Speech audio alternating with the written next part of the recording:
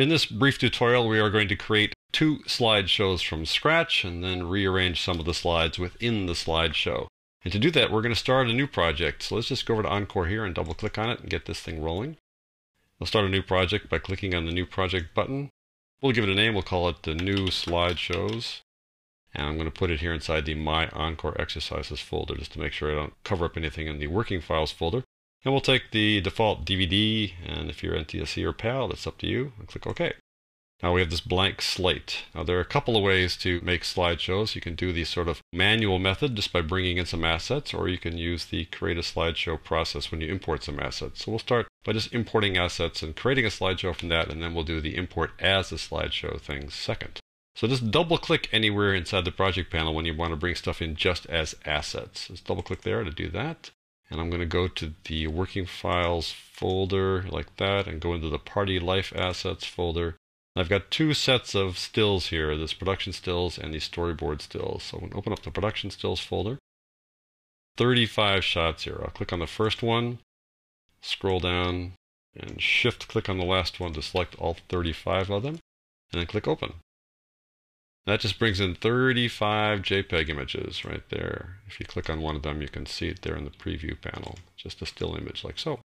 I want to put those guys in a folder so we can kind of organize things a little better. So I'm going to click down here on the create a new item icon and select folder. I'm going to call this one production stills. I'll call it a slideshow as well because that's where we're going with this. Okay. Now we've created that folder, but they're not in the folder. So I'm going to select the first one, scroll down and shift click on the last one.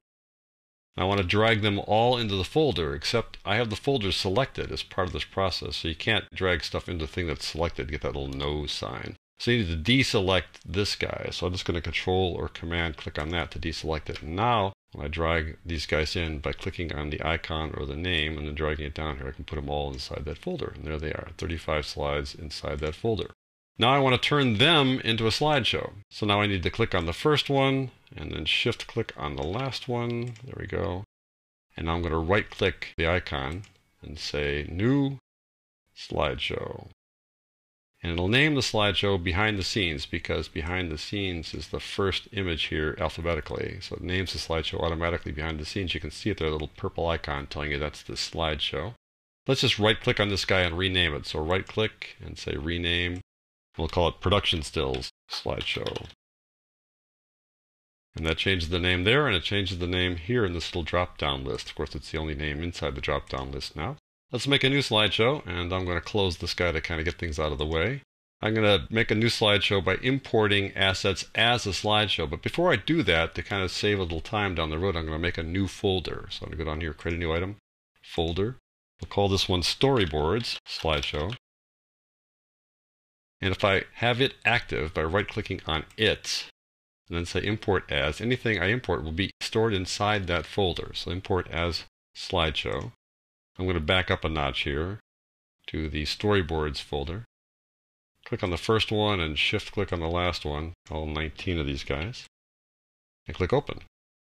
And that'll bring in 19 files, put them all inside the storyboards slideshow folder, and we'll create a new slideshow. This little purple guy here. Let's rename the slideshow by right clicking on it and say, let's call this one Storyboards slideshow. Now we've got these two slideshows, and when you have two slideshows, they'll both be inside the same tab here. If you click this little drop down area, you see you have two slideshows, production stills there, and the storyboard slideshow. The reason for that is how your preferences were probably set. You might have changed them, but if you went with the default settings, then your preferences look something like this. Go to Edit or Encore Preferences, go to Appearance, and here in the Viewers, if you have slideshows unchecked, that means you will not have a separate viewer for all your slideshows, meaning that every slideshow will be stored in one tab and you'll have a drop down list for all the slideshows whereas timelines are separated into different tabs. That's the default thing. That's fine. I think it's a good thing to do that, so we'll just cancel out of this. One tab with two slideshows inside it. Let's stick with the storyboards for now because I want to rearrange them a bit. Now you really can't see the names of these files here, but you can see the duration. If I click on one and I go to the slides properties, you'll see that it's one zero dancing begins. Now again, on Mac it might be just one and it might be the original slide that was number one, but here it's number 10. And so This is actually probably 11 and 12 and all the way down through the 19 if I scroll down here a bit. So I want to put all of those guys after the end of this project. I want to put them all down here. Select the first one. I'm going to shift click on this 10th one there. I'm going to drag them all down here. Now it's kind of crowded here. The real estate's kind of minimized here because of the way my resolution is set. So I'm going to open things up a bit by clicking this little arrow here, and that closes the audio section and increases the view here. It still isn't quite what I want to see, so I'm going to expand the view by just dragging this guy up. You can always kind of rearrange things like this. Now I want to take all 10 of these guys and move them down here. Now if I click outside of the slide, that'll deselect them. Not a good thing. So I'm going to click on this again and shift click down here inside the slide.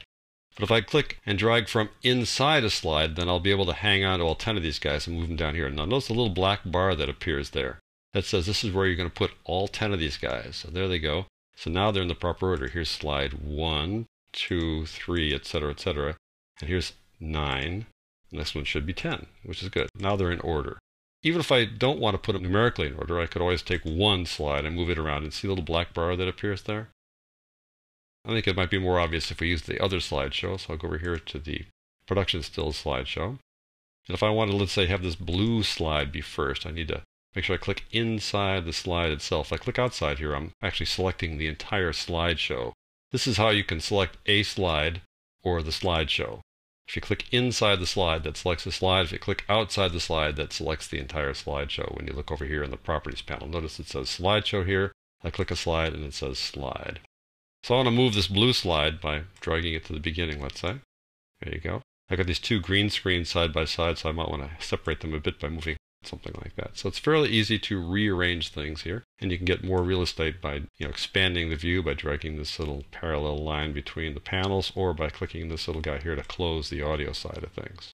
So that, folks, is how you create slideshows from scratch. There are obviously more things we can do, including adding audio and transitions and zooms and pans, things like that. And we'll do that in the upcoming tutorials.